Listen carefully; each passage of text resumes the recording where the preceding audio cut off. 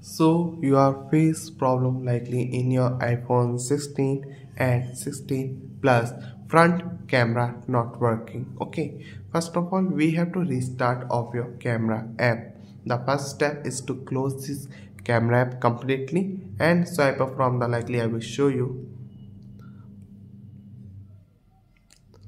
So here is my camera app. I have to open this and again close like this okay like this one. Okay.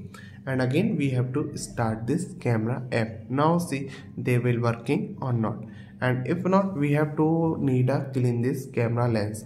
Sometime likely they have a lay dirt smudges or a debris. Use a microfiber cloth to gently clean this lens and ensuring nothing is obstructing okay?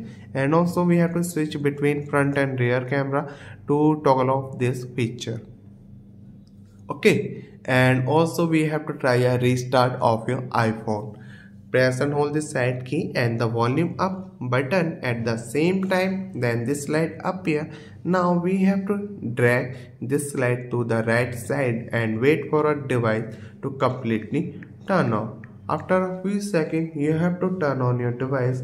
Now see problem will be resolved or not. If not move to another solution likely check your ios version if it is not up to date to the latest version we have to update of your ios.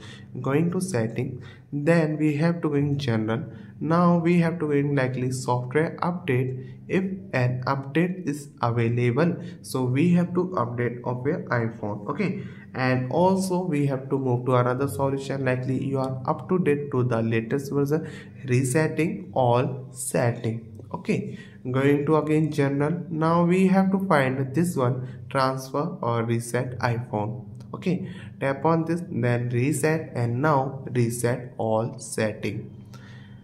They will asking for your device passcode. Again confirm this setting after this. Okay and we have to also try test with other app likely we have to open your instagram camera. Now see they will working or not okay? And if not we have some hardware issue in your device. So that's why your camera function is not functioning okay? It may have a hardware problem. Contact apple support team or visit an apple store for their further assistance especially if your device is under warranty okay? So thank you